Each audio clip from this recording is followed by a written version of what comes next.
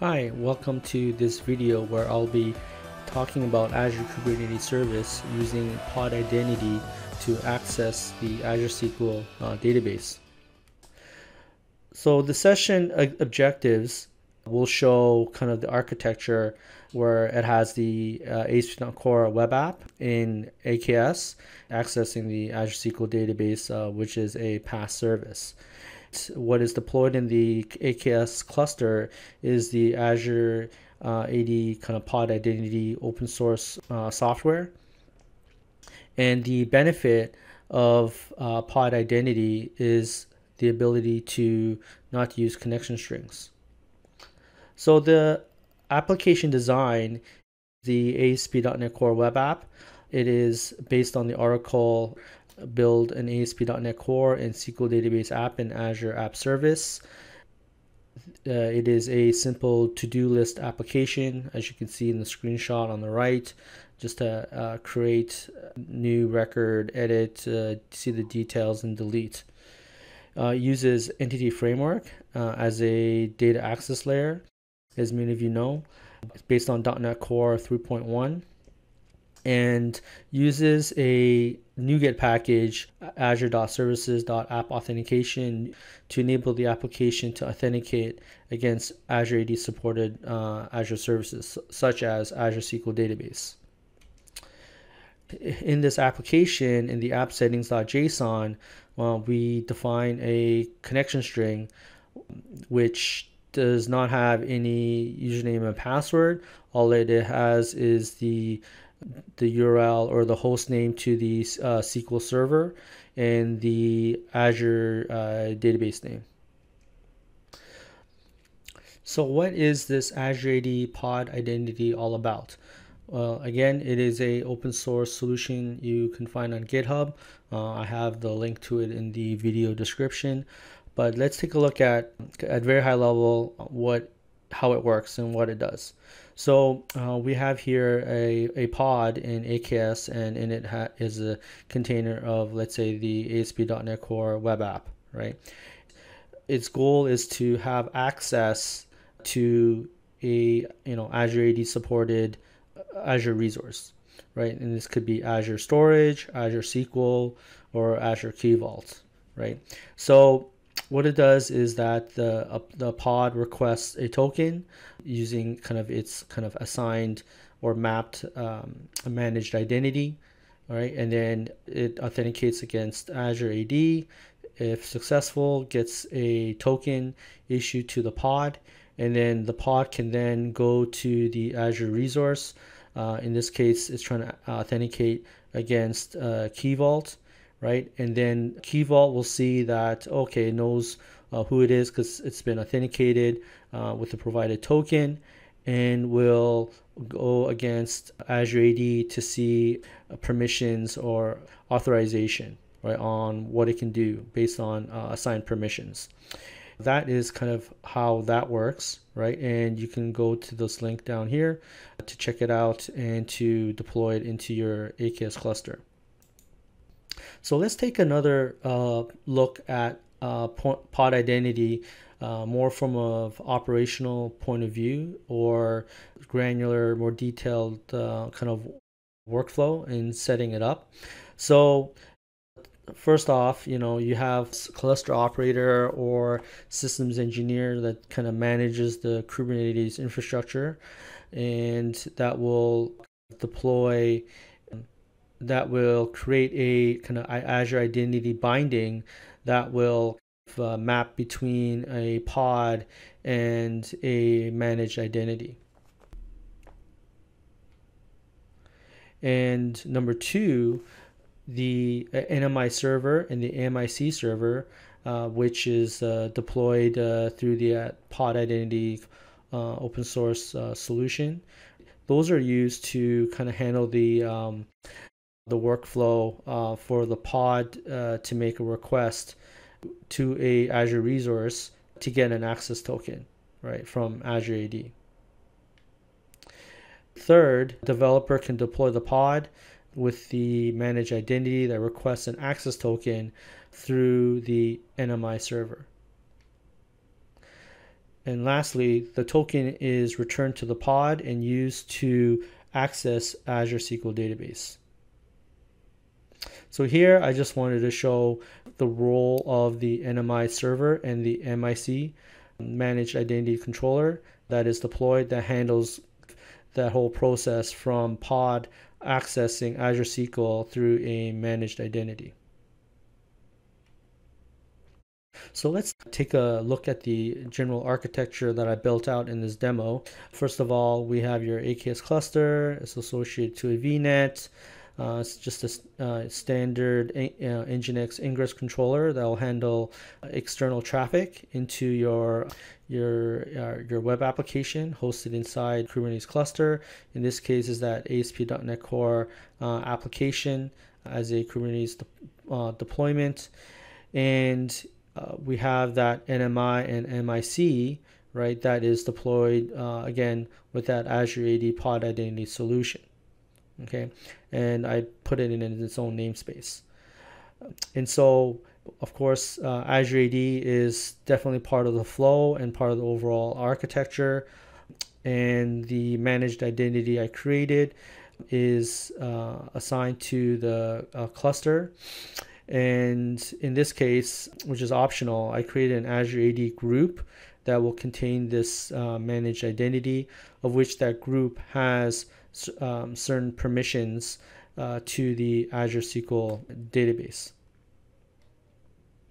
So what is the high level setup process? First of all, of course, you need a AKS cluster with the managed identity enabled. And so through your uh, cluster creation process, make sure it's enabled, uh, managed identity will get created.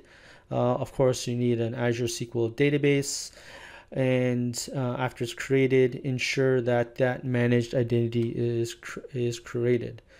So if we look in the Azure uh, portal I can show kind of what that looks like. So I'm in that um, uh, infrastructure resource group of the AKS cluster and in it we can see a bunch of things that's been created. But one thing in particular is that you can find the managed identity that can be used uh, that is associated to the Kubernetes uh, cluster.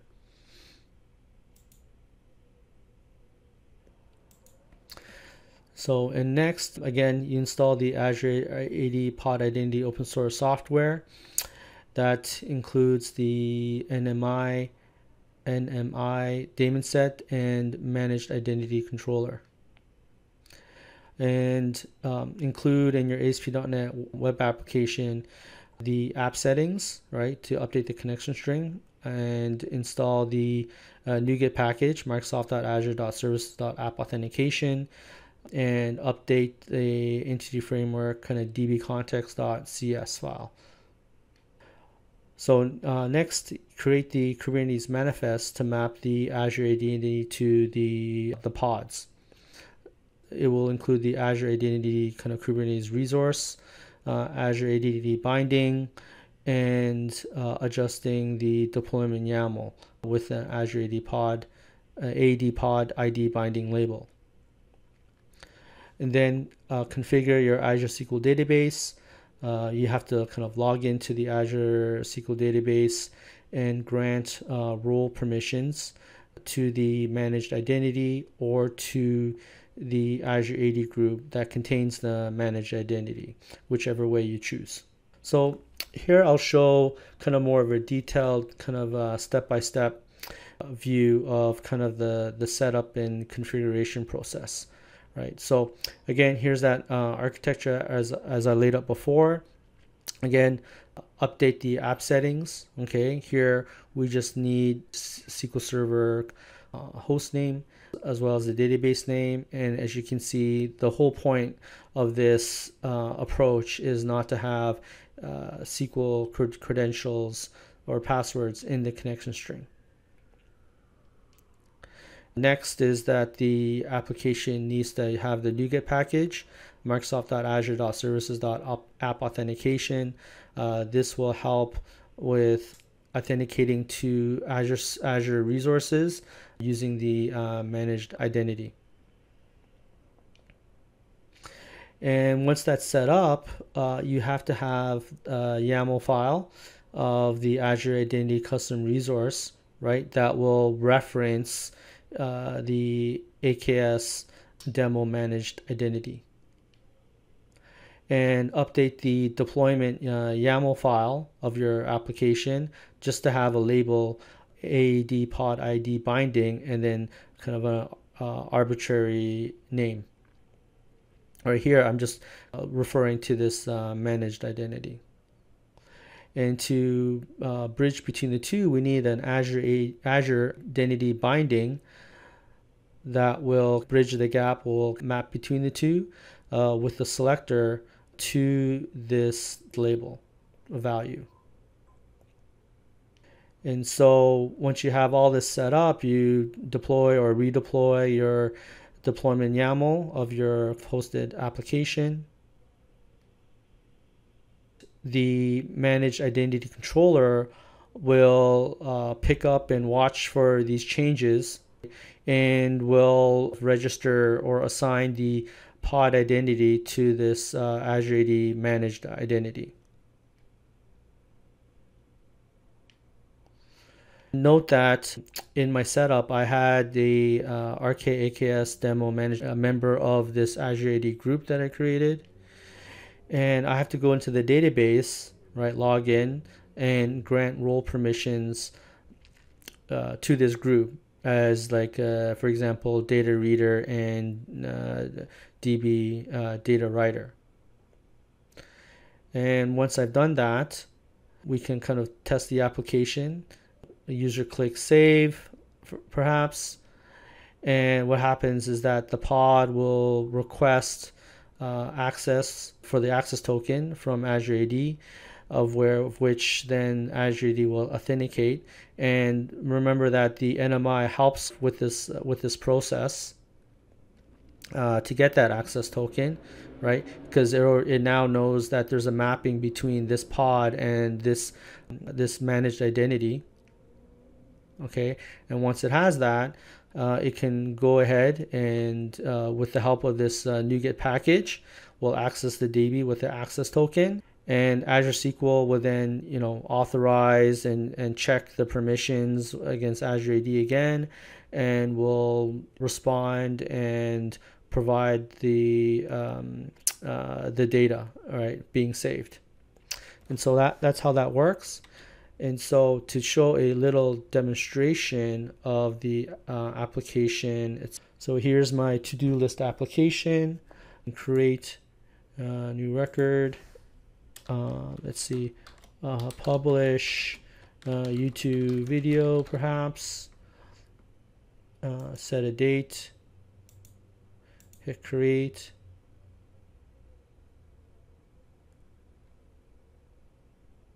And this is activity or this uh, database save is happening against the Azure SQL database. So here's my uh, ASP.NET Core web application, and here is my app settings uh, JSON, which has the configuration for the connection string to my Azure SQL database. As you can see, there's no password or credentials needed okay? And the next place you need to do, ensure that you have this um, uh, NuGet package. And if we look at the uh, database context CS file. So here is the my database context file okay as part of uh, entity uh, framework right? So you know you just need these this two lines of code, right, to establish the connection, database connection, right, and to retrieve the access token. Um, and in this, in particular, this is for the uh, Azure SQL database, right? This would change if you're doing uh, going against Azure Key Vault or Azure Storage or other Azure service that supports um, Azure AD uh, authentication. So here is my Azure SQL database. okay, where I've kind of logged into the query editor as the kind of the database admin. And so this is where um, you can have Azure SQL Database uh, grant uh, permissions to that Azure AD group that contains the managed identity uh, per my design and implementation. So uh, in order to do that, right, this is the uh, Azure AD group, right, called Azure AD DB principles uh, that I've named. Okay, you have to run it, create a, a user as this, and then uh, alter the role, uh, giving it data reader and data writer to this Azure AD uh, group. Okay, so I, I've already ran this prior, but uh, to see the configuration that uh, to validate that the setup, I have this um, uh, SQL statement here.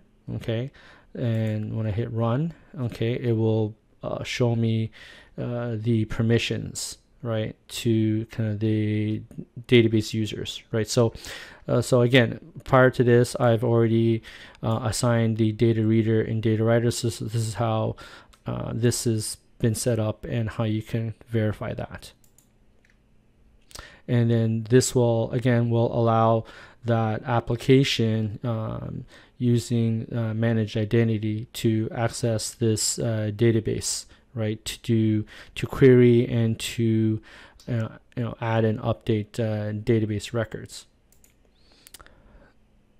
So uh, here we can see the uh, the to-do list um, uh, database tables. Okay, so uh, let's just see the, what that looks like in terms of the records. So select star to do uh, whoops, star from, and run that. And we have uh, these records that I've created.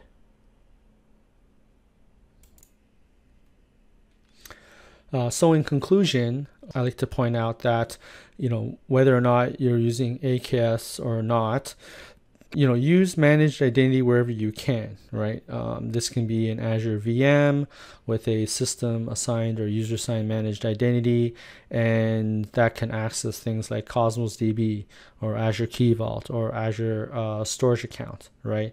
And without the need of storing any credentials in any kind of config file right? So it just makes the whole process more streamlined because um, you have uh, all these azure services and resources that can leverage the power of azure ad authentication authorization you know all, all in the under one roof right? Which is the azure platform and so I highly suggest uh, to read the supporting articles that help me um, with uh, building out this demo. So look at the video description for that.